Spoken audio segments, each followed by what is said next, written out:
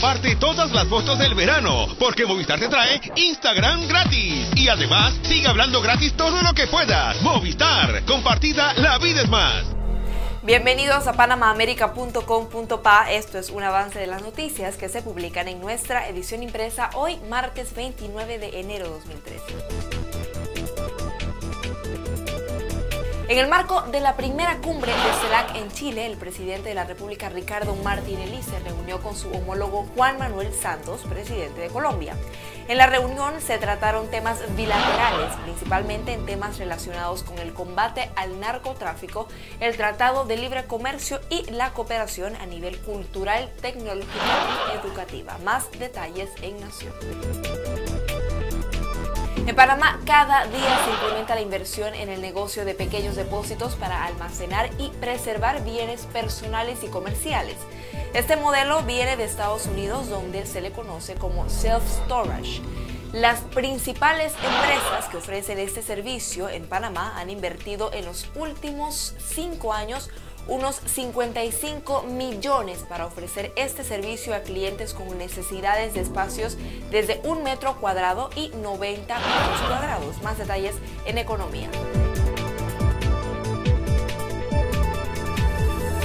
El centrocampista azulgrana Xavi Hernández, de 33 años, firmó la ampliación de su compromiso con el club barcelonista hasta junio de 2016, mientras que su cláusula de rescisión se mantiene en 80 millones de euros. Xavi, que ha desarrollado toda su carrera deportiva en el Barcelona, firmó el que seguramente será su último Por supuesto, más detalles en Días Deportivos.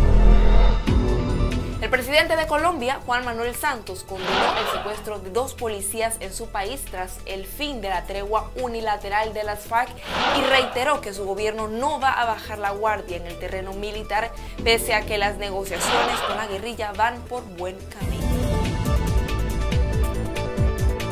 A través de nuestra cuenta en Twitter, que ya es costumbre, arroba Panamá América, preguntamos, ¿cree usted que la autoridad del agua mejorará la deficiencia del IDAN? Nuestros lectores, entre ellos Maritza Delgado, considera que toda iniciativa que sea moderna y responda a las necesidades de toda la población, bienvenida sea. Por su parte, Juan Coronado dice, no creo porque desde mucho tiempo han estado mintiéndole a los panameños que están mejorando el agua y no lo han hecho. Un cierre mágico y cargado de talento y buena música.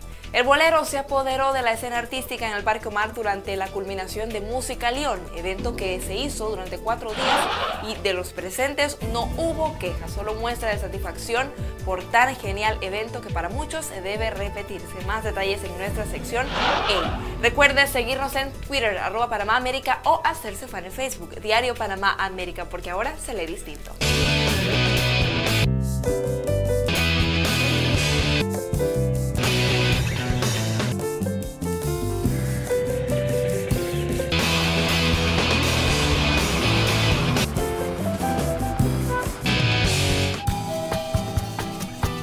Otros tiempos, otras noticias. El nuevo Panamá América, con un cuerpo más amigable y un interior más moderno. Panamá América, se lee distinto.